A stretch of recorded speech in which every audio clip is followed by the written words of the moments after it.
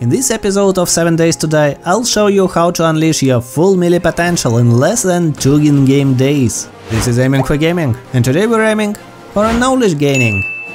Our objective for the next several days is to maximize profits in the early game of Alpha 21. This update is all about learning, so the mailbox run might be the best way to acquire knowledge. But before that, let's store all our belongings in our new temporary base near the second trader. The first trader, Jen was in a pretty small city, so we had to move on. To keep up with Jen's progress, I need to complete 7 more tier 1 quests, which I believe is worth it in the long run.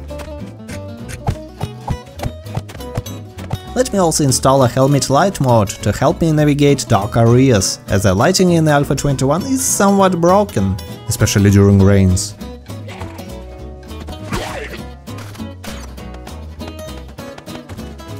Oh, Trader's Hugh's Space got a huge update as I can see. There are so many military trucks and all that.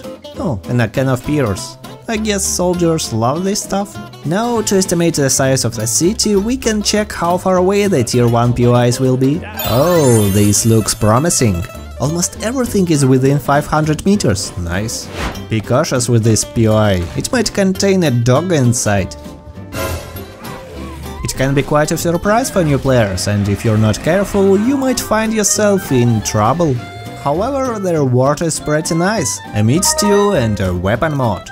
By the way, always install mods on your weapons and tools, regardless of their usefulness, as each installed mod increases your weapon damage. Also, don't forget to check all the boxes in the POI, as some of them might be hidden or placed on shelves above. Great, we now have 500 cobblestone rocks as a tier 1 reward. That's fantastic! It means less mining for me. Now let's move on to the fetch quest.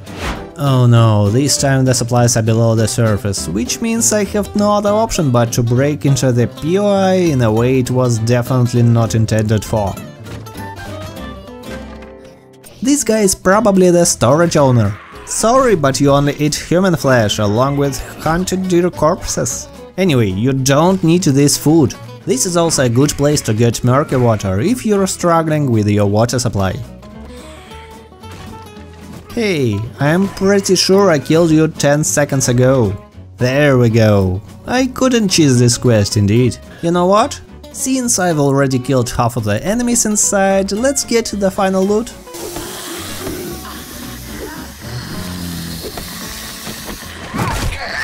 Three enemies are not such a big deal with our upgraded level 4 spear.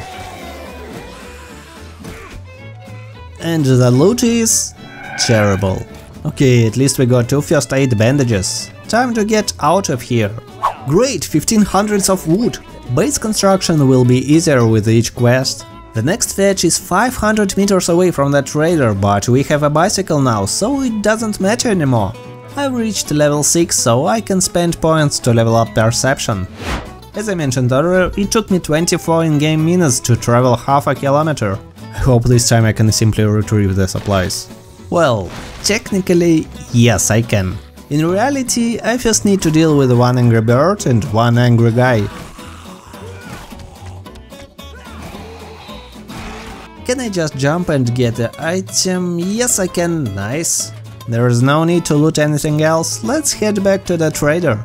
Another 1500s of wood, wow. Ladies and gentlemen, I've just got enough wood for the whole game. Surprisingly, I can still finish the next quest before the trader closes. And just look at that! The quest is in my favorite POI, which means that we now know where my base will be. We have around one hour left, so let's hurry up.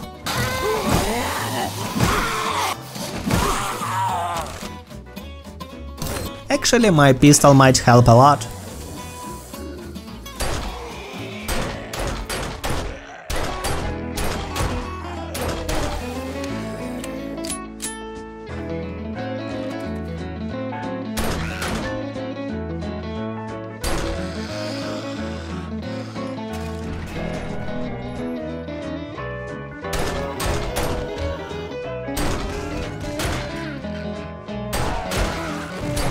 This is it, it took me 18 in-game minutes to finish the quest.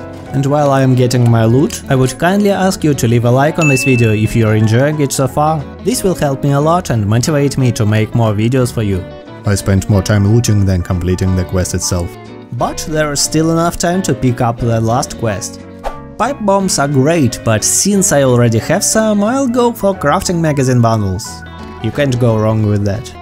Looks like I even have some spare time for selling my stuff and buying books. And there we go, I can just concentrate on book farming and then finish the buried supplies quest. So, how does the journal farm work? First of all, the more points you put into specific skills, the higher the probability of finding a respective journal will be.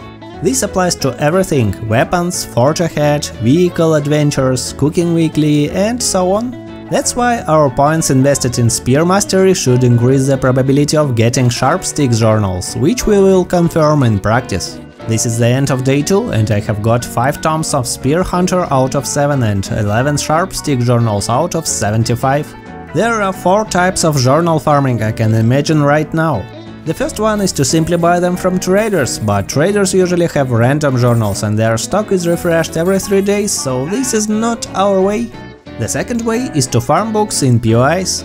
Surprisingly, there are many bookshelves inside, especially at higher tier POIs such as offices. However, at our level it would be easier to farm Crack-a-Book stores instead. The third way is to get them as quest rewards, but it's also limited each day and time consuming overall. The last and the most efficient way is to farm mailboxes, and we have the whole night to do so. Just keep in mind that enemies on higher difficulties are much faster during the night and also ferals begin to spawn until morning.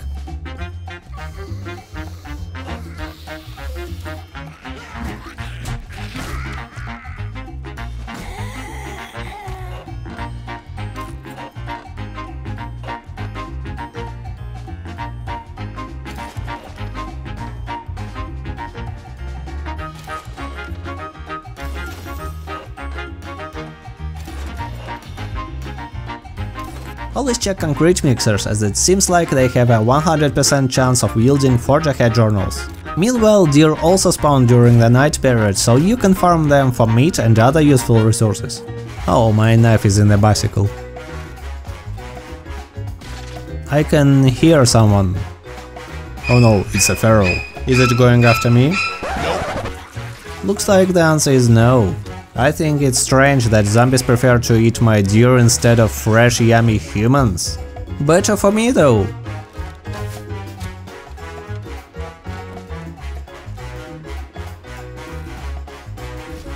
Let's continue mailbox hunting.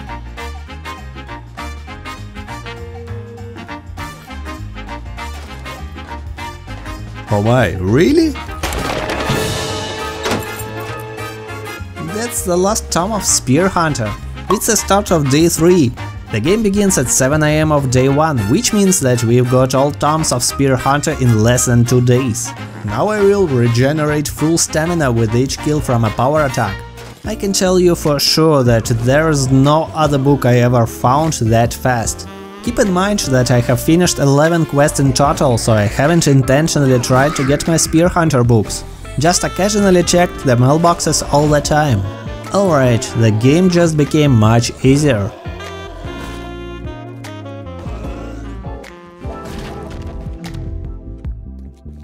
Let's continue searching for books and journals, I need a lot of sharp sticks. This will be our next goal. I hope this episode helped you achieve what you were aiming for today. For more episodes, simply visit my channel and consider subscribing, it's that easy. Thank you all for watching and see you next time.